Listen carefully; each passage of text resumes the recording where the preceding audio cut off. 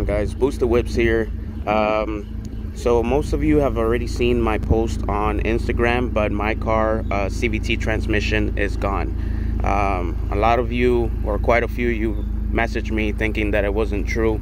Um, so i'm just taking this film for you guys. Um, I want you guys to kind of hear this. So from the outside you can kind of hear the belt of the cvt whining and this is just an idle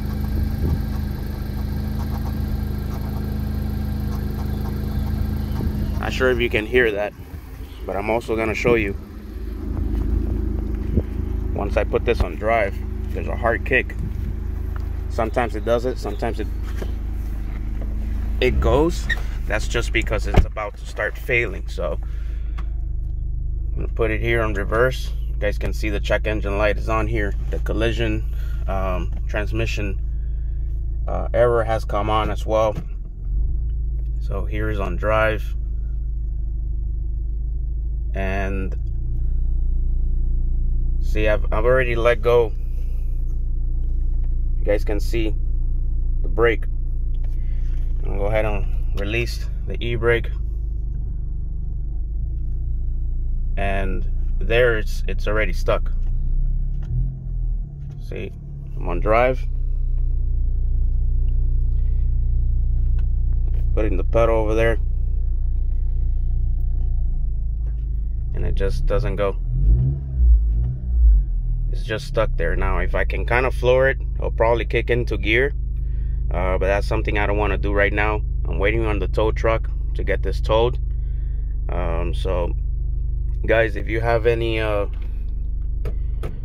modifications on a CVT just be careful. Um, you know I I went on the dyno only with uh, 220 I think I hit go ahead and power off the car. I hit up 220 horsepower, so I didn't have that much. Uh, that was all due to the tune. I got retuned by uh, Derek Robinson, and I never went back to the dyno. Um, prior to this, I did have a small race the prior night. Uh, normal shifting, I didn't do anything out of the norm.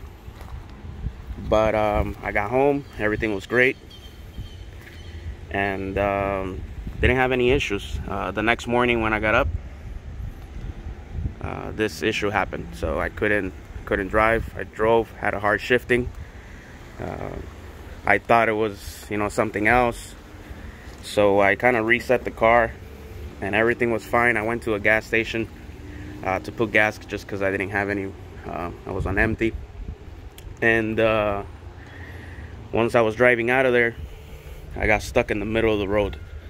Very dangerous, guys.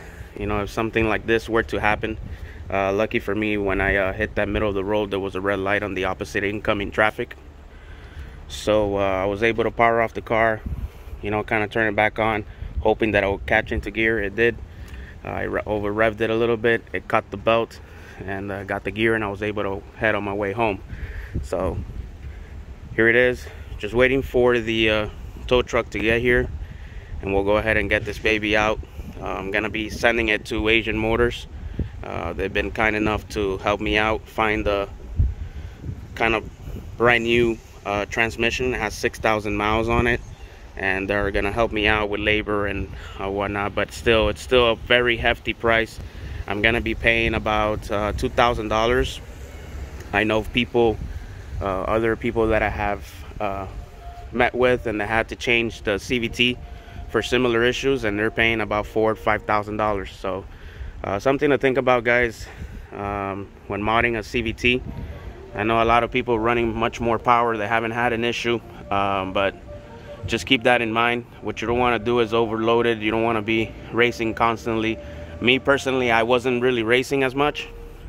I just caught a race the prior night and I think prior to that I didn't race for like six months or probably you know less but um, I don't catch races all the time. I just go and I drive normal. I don't beat the car so and this happened. And I also maintain my car so I do my oil changes at 50% and I do my transmission fluid anywhere from 20 to 35 I just did my my first one only at 35,000 miles and I have 40,000 on my car so um, anyways guys keep you guys posted I'll wait for the tow truck.